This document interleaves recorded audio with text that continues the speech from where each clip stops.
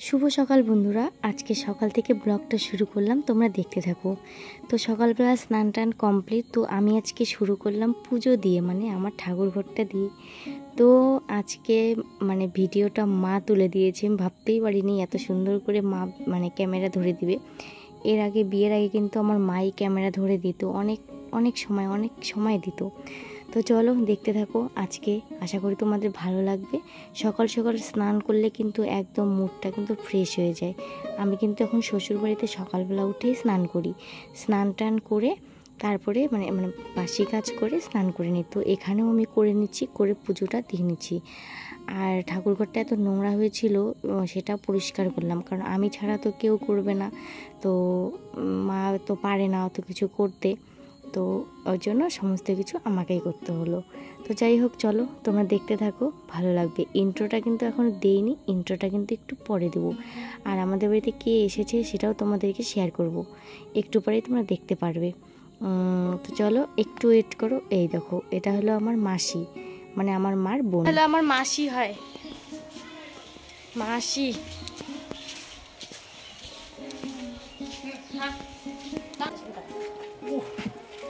Hello guys good morning welcome back to my channel দোইজ blog তোমরা কেমন আছো? আশা করি ভালো আছো। আমি খুব ভালো আছি। দইজ ব্লগে তোমাদের আরেকবার ওয়েলকাম বড়দের পূর্ণাঙ্গ ছিল অনেকটা ভালোবাসি আজকে ব্লগটা শুরু করলাম। তো দেখতে থাকো, আজকে সারাদিনটা কী কী হয়। তো সকাল সকাল থেকে পুজো দিয়ে ব্লগটা শুরু করলাম। আর আজকে মা ফোন ধরে দিল। মা ক্যামেরা ফোন ক্যামেরা ধরে দিয়েছে। আর যে মাসি হসপিটালে গেছিল ডাক্তারের কাছে, যে কি প্রেশার মাপতে। তো মাসি এসেছে কালকে। থাকবে কয়েকদিন আমি আছি মাসিও আছে আর কি।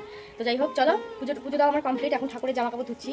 তো ঠাকুর ঘরটা পরিষ্কার করলাম পুরো একদম শ্যাওলা হয়ে গেছিল তার জন্য। চলো এটা রেখে আসি তারপরে তোমাদের সঙ্গে কথা বলছি। ভিডিওটা যখন এডিট করছিলাম তখন আমার এত হাসি পাচ্ছিল কি বলব? মাসি দেখো একভাবে দেখছে যেটা কি হচ্ছে ভাই। তো বন্ধুরা তোমাদেরকে দেখাচ্ছি ভাত খাব এখন। এই যে আলু আর কি বলে এগুলোকে বটবটি ভাজা। আর আমরা তিনজন মানুষ খাব মাসি আমি মা। দেখো আলু ছানা। মনে হয় যে দশজনের খাবারের আলোচনা করেছে মা। ভাবো তাহলে। তার সঙ্গে এদিকে ভেন্ডি সিদ্ধ আর দেখো। ভাবা যায়? পনেরো পনেরো, বিশ জনের মনে হয় আলোচনা করছে মা। ওই ওইরকমই, এত গালি দেই তাও শিখতে হয় না। কি থাক দুপুরবেলা খাওয়া দাও। তাও এত খাওয়া যায় দুপুরবেলা। বেশি বেশি করে খাই নাও। আলুর মতো মোটা হোক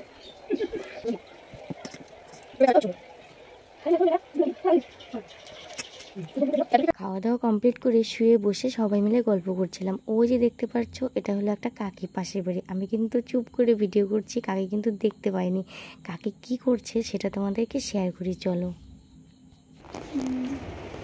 আমাদের মিস্ত্রি কাকিমা। আমাদের প্লাস্টার করে দিচ্ছে, পাচুন দিয়ে। শালা কন্নি নাই কি করুম আমার কন্নিটা যে কই থুইছে না। না মিস্ত্রি চা খায় না। যে বাড়ি কাজ করে খায় না পান খাব। যে বাড়ি খাই না আমরাই তাহলে যায় খাই। হ্যাঁ। কাজ যখন কাজ করবে তখন খাবে অন্য সময় খাবে। ও। ডাক্তার চিকিৎসা করে ডাক্তার হয় যে না ডাক্তার চিকিৎসা করবে তোর বাড়ি দেশে সে ডাক্তার খাওয়াতে পারবি না। কবিরাজরা চিকিৎসা করবে চিকিৎসা করবে। কয়দিন পরে এসে খাইতে লাগে নাকি? হ্যাঁ। ও এই ব্যাপার। যে কেমন ভিডিও বানায় ফেলেছে। মিস্ত্রিকে একটু দেখাইলাম। তাহলে কত সুন্দর। মেমোরিজ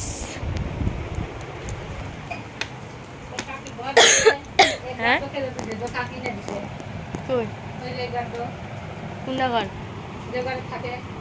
ও হ হ ওমা গো মা এগুলো কি করতেছে ভাবা যায় দেখো এগুলা কি করতেছে মানে কি তো শুভ বিকাল বন্ধুরা। তো দেখতে পাচ্ছ ফাইনালি রেডি হয়ে গেছি। তো যাচ্ছি হলো একটা নিমন্ত্রণ খেতে। তো নিমন্ত্রণ দিয়েছে। তো মা, আমি, মাসি তারপর পুচকিদি, পুচকিদির ছেলে আরও আছে। পম যাবে, কাকি যাবে, ওরা একটু পরে আসবে। তো চলো, আর কোথায় যাচ্ছি সেটা তোমাদেরকে জানি না শেয়ার করতে পারব কিনা, কিন্তু এসে তোমাদের সঙ্গে কথা বলব। তো চলো দেখতে থাকো। আর আমি আজকে যে শাড়িটা পরেছি, যে গরুর দই পাই না ওরা গরুর কৃষ্ণ সে তো জানি। বলো হ্যালো গাইস বলো হ্যালো গাইস গাই তোমরা ভালো আছো? তোমরা ভালো আছো?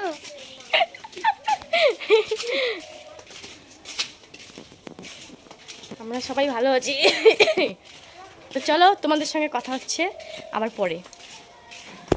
বাড়িতে আসার পর কোথাও বের হয় না। প্রত্যেকবার এরকম হয়।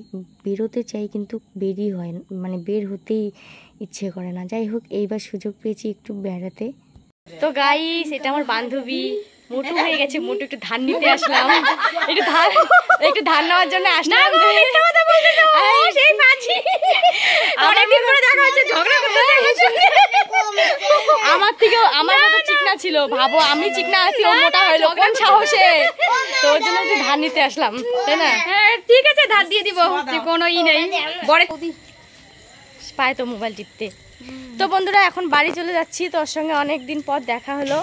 তো যাই হোক ভালো লাগল। এসে যে দেখা হবে ভাবতেই পারিনি আর কি। তো যাই সামনে বাড়ি ঘুরতে। আচ্ছা। তো চলো টাটা। যাই হোক যেটা শেয়ার করছিলাম তো বেরোনোই হয় না। তো এই যে দেখতে পাচ্ছ, এটা ভাই হয়, এর ছিল অন্নপ্রাশন। তো নিমন্ত্রণ দিয়েছিল, তার জন্য এসেছি এসেছি, খেয়েছি, গিয়েছি আর কি। যাই হোক, আর তারপরে দেখা হয়েছে আমার বান্ধবীর সঙ্গে, আমার ক্লাসমেট আমরা একসঙ্গে মানে কি বলব, থাম, ঘুরতাম, ফিরতাম ক্লাস ইলেভেন থেকে টুয়েলভ অবধি। তো ভীষণ ভালো লাগল আর কি। ওখান থেকে বেরিয়ে বাড়িতে চলে এসেছি, বাড়ির পাশে আর একটা নিমন্ত্রণ ছিল একটা বৌদির হলো স্বাদ ছিল। তো সেখানে আমরা খেতে এসেছি। তো কি খাব? এই খেয়ে এসেছি তারপরে আবার এখানে বান্ধবীর সাথে আবার দেখা। এত খাস কে? এত খাস কে? কম খা। ইচ্ছা নাই। কিছু লাগবে? আমার কথা মনে করো আর খাও।